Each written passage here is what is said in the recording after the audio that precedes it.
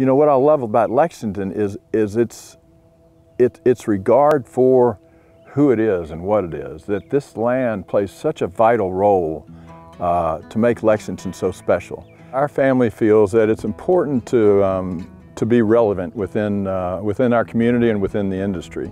And you just can't sit there and live off of, uh, of the land alone. You have to share the land because uh, the economy is now growing uh, through tourism things. It's, it's now growing uh, relevant uh, to providing uh, economic development.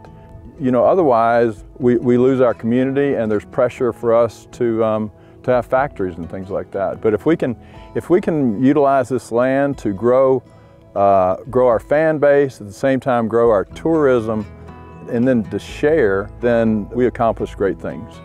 The tourists remind us each, each time we give a tour, do you know how lucky you are? And uh, that's been one of the greater things about giving tours because they remind us how very fortunate we are. Yeah, development's right upon us.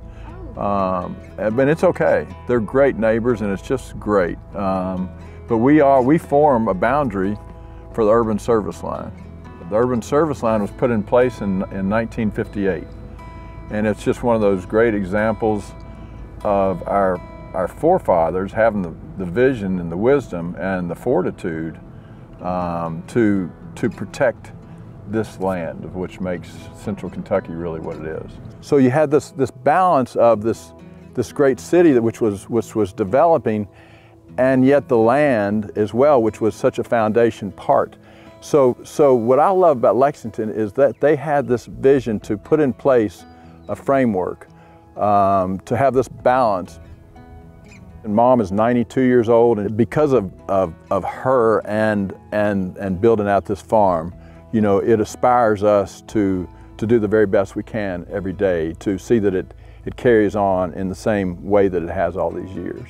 And so she continues to be our inspiration and our leader. Uh, and I say that on behalf of our entire family. It's a great thing. Our children are passionate about the, the history of, of Mill Ridge and the history of, of Hal Price Headley and Alice Chandler. They want to go forward. So like them, uh, the grandchildren are going to grow up in that environment. And when I think about the role and the, the, the great uh, privilege Price and I have had to be a part of this horse country initiative, I'd say by 2050, we'll be reflecting on that.